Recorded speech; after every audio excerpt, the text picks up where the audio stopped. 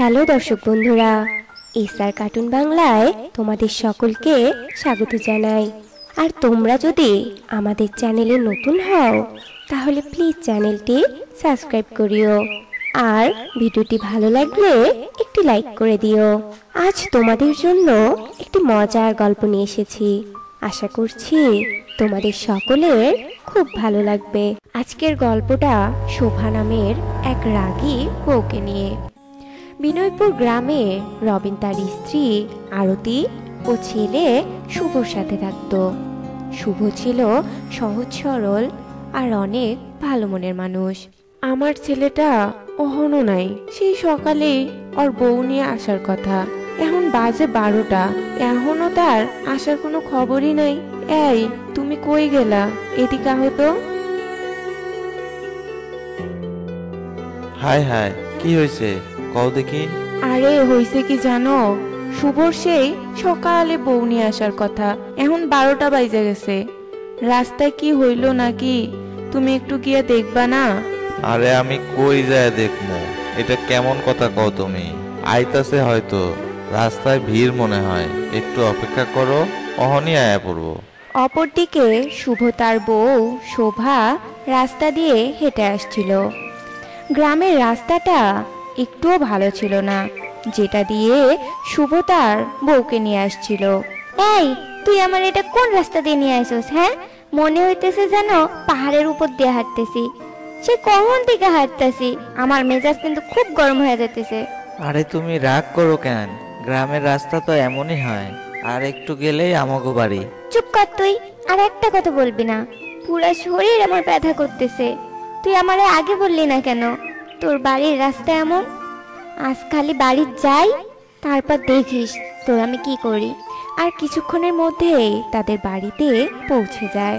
বাড়ির ভেতরেই রতন আর তার বউ দাঁড়িয়েছিল ইস আমার গাটারে একেবারে ব্যথা করে ফেলাইছে। এই এনারা আবার কারা? এনারা আমার বাবা মা।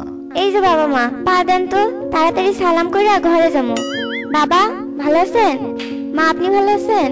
হ ভালো আছি। কি রে বাবা? এটা কি আনলি বিয়ে কইরা? কি বিয়ে করে আনছে মানে? আমি কি দেখতে খারাপ? অসুন্দর? আপনার চোখের দিকে তাকায় কথা কইছি? নাকি আপনারে মারছি কাটছি?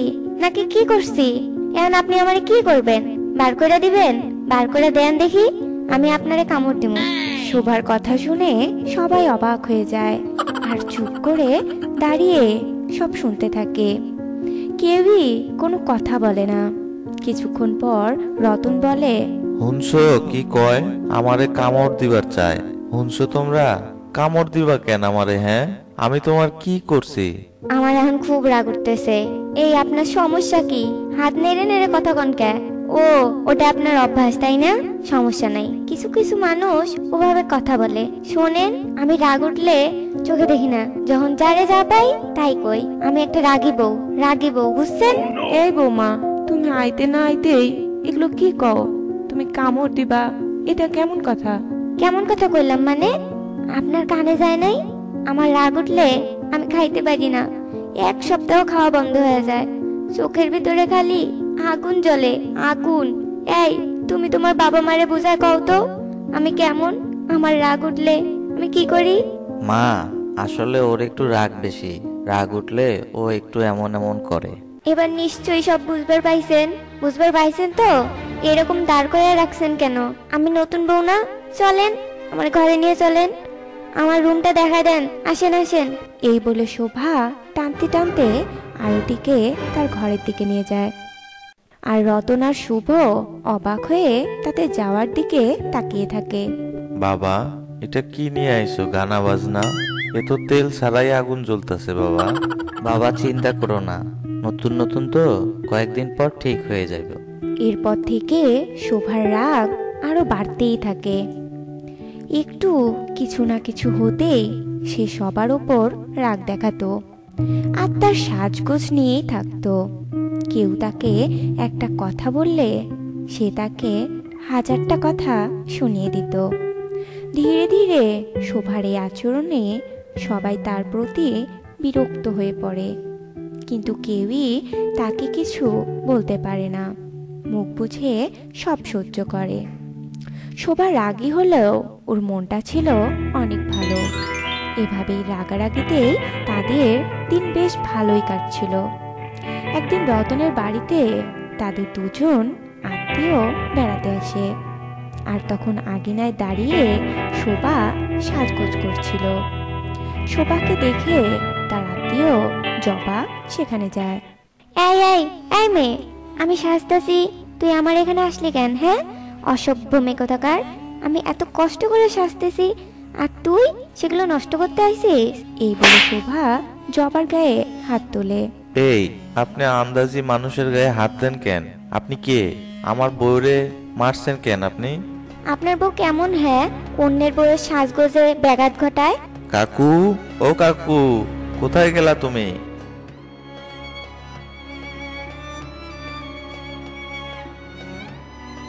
কে রে? কি হয়েছে? এই মহিলা কেডা? দুনিয়ার পেশাল পারতেছে, আবার আমার বউরে মারলো ধইরা। কি? কি বললেন আপনি? আপনার সাহস দেখে কম না? আমি কে জানেন? আমি হলাম এই বাড়ির বউ। আমার সাথে ভালোভাবে কথা বলবেন। না হলে আপনার কামড় দেবো। ও আমাদের শুভর বউ। বৌমা তুমি সবসময় এমন সবার সাথে রাগ দেহ কেন? আমাদের বাড়িতে কোনো আত্মীয় আইব না? তোমার রাগ কমাইতে হইব বৌমা। তোমার রাগের জন্য কেউ তোমারে ভালো কয় না বুঝছ? তোমার রাগ না দমাইলে সমস্যা।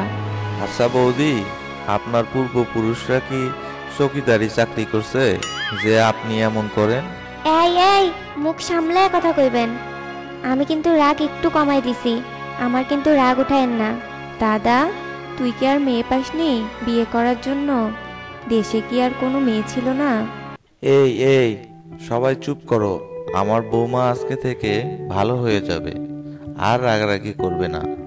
বৌমা দেখো, তোমার রাগের জন্য সবাই তোমাকে খারাপ বলে। কিন্তু আমরা তো জানি যে তুমি কত ভালো। মা তুমি আজ থেকে তোমার রাগটা কমাও। এত রাগী মানুষকে কেউ পছন্দ করে না। ওরা আমার ভাইয়ের ছেলে আর বউ। আমাদের বাসায় বেড়াতে এসেছে। যাও, প্রণাম করো। আচ্ছা ঠিক আছে। এই আহেন, আপনারে প্রণাম করি। না করলে তো হয় না। আপনি আমার ভাসুর দাদা। আপনারে প্রণাম করতেই হব। আর টাকা পয়সা দিতে হইব না। আমি এমনি করতেছি। আচ্ছা থাক। সবাইরে নমস্কার। তো বন্ধুরা এমনই সব মজার মজার গল্প পেতে আমাদের এই ছোট্ট চ্যানেলের পাশে থাকতে ভুলো না কিন্তু। আজ এ পর্যন্তই। আবার দেখা হবে অন্য কোনো দিন, অন্য কোনো সময়, অন্য এক মজার গল্প নিয়ে। সে পর্যন্ত তোমরা ভালো থেকো, সুস্থ থেকো। ধন্যবাদ।